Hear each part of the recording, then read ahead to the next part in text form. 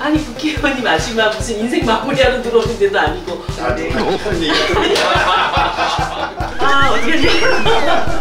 이정민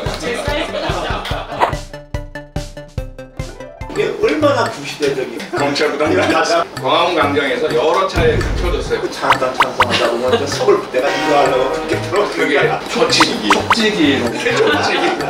왜 그러 냐? 왜? 나 떨어져가지고 보니까 넌넌거려 나도 더 이상 안 하시는 게더 못하겠습니다.